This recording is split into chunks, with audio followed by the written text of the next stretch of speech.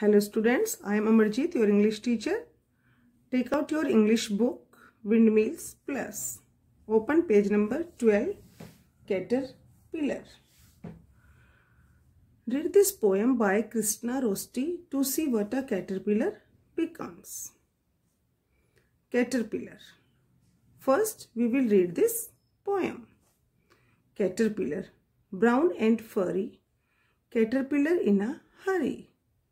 Take your walk to the shady leaf or stalk or what not, which may be the chosen spot.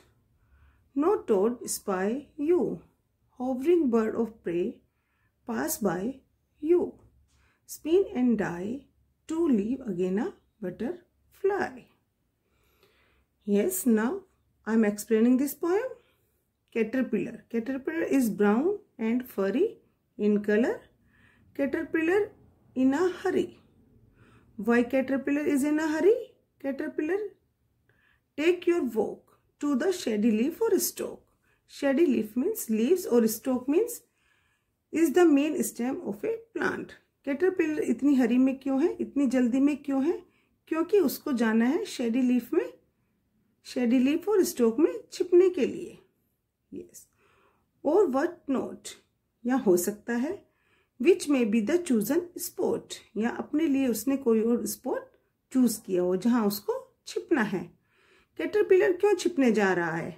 No toad spy you spy means watch secretly toad यानी कि एक big frog यानी कि कोई भी toad कोई भी frog उसको देख ना ले। Hovering bird of prey pass by you और ना ही उसको बर्ड ऑफ़ प्रे देख सकें। Bird of prey means feeds on other animals यानी कि वो बर्ड्स जो छोटे छोटे इंसेक्ट्स को खाती हैं।